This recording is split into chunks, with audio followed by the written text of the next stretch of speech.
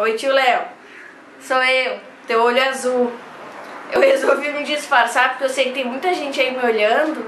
Aí eu sou muito tímida, tu sabe, né? Aí pra ninguém ver que sou eu. É, eu fiz também um textinho porque, como eu sou muito tímida, eu ia ficar nervosa e não ia conseguir falar tudo. E como existe uma probabilidade muito grande de eu chorar até o final, então senão eu ia esquecer. Então não dá bola, tá? Mas foi de coração. Então, são tantas histórias. Eu falei que ia chorar. Como falar em poucas palavras um amor tão grande e forte? Temos apenas 10 anos de diferença. Crescemos juntos praticamente.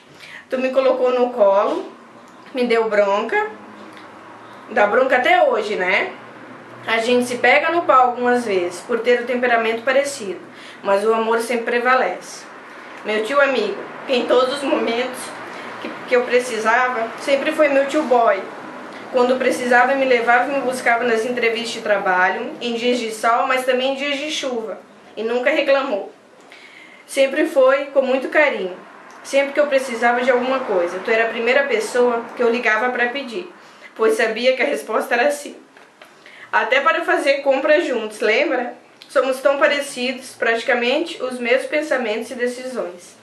Contabilidade, artesanato, fotografia. Não é mesmo? Minha alma gêmea familiar. Claro que os defeitos às vezes gritam um pouco. Até nisso somos parecidos.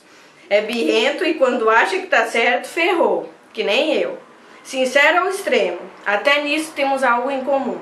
Mas o que quero dizer hoje aqui é muito obrigada pela cicatriz na testa, pelos beijos no olho, pelos apelidos que de mosquito passou para gordinha, pelas corridas de tio boy, por fazer o papel de pai em diversas vezes em minha vida, por me aconselhar mesmo quando eu nem queria ouvir, até as implicâncias com meu time que é campeão de tudo.